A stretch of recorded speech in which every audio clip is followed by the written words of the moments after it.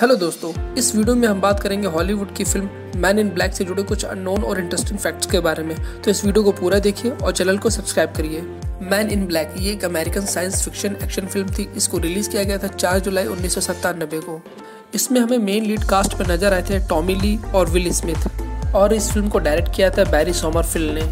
इस फ़िल्म का बजट रखा गया था 9 करोड़ यूएस डॉलर और इस फ़िल्म ने बॉक्स ऑफ़िस पर टोटल 58 करोड़ यूएस डॉलर का बिज़नेस किया था और यह उस साल की सुपरहिट फ़िल्म साबित हुई थी और इस फ़िल्म को आईएमडी में 7.3 रेटिंग दी गई है।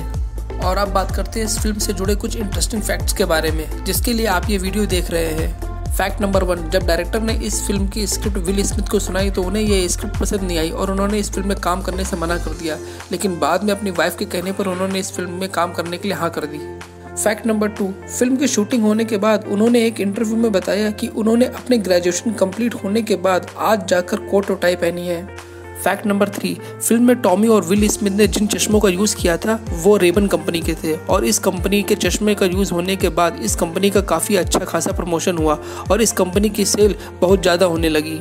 अमेरिका की एक सोसाइटी है, ह्यूमन सोसाइटी। और इस सोसाइटी का काम है कि जानवरों पर नज़र रखना, कि कोई जानवरों को तंग या मार तो नहीं रहा है। और इस फ़िल्म के एक सीन में कई सारे कॉकरोच का इस्तेमाल किया गया था। जब ये बात ह्यूमन सोसाइटी को पता चली तो उन्होंने शूटिंग को रोकने का ऑर्डर दिया। लेकिन डायरेक्टर ने उन्हें समझाया कि किसी भी कॉकरोच को कोई नुकसान नहीं होगा।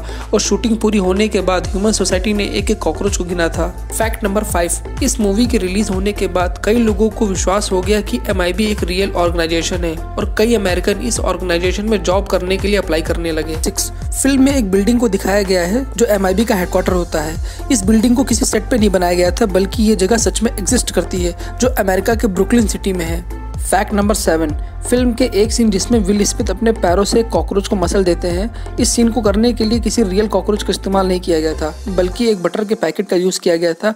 अगर वो इस सीन के लिए किसी रियल कॉकरोच का यूज़ करते तो ह्यूमन सोसाइटी वाले उन पर कई पेनल्टी लगा देते।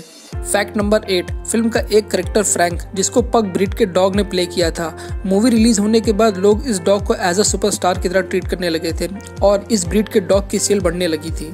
मुझको तो ये फ़िल्म बहुत पसंद आई थी। आपको ये फ़िल्म कैसी लगी? और आपको इस फ़िल्म का कौन सा इंटरेस्टिंग फैक्ट पसंद आया? प्लीज़ हमें कमेंट में ज़रूर बताइए। और हमें कमेंट में ये ज़रूर बताइए कि आपको आगे किस मूवी का इंटरेस्टिंग फैक्ट जानना है। Thank you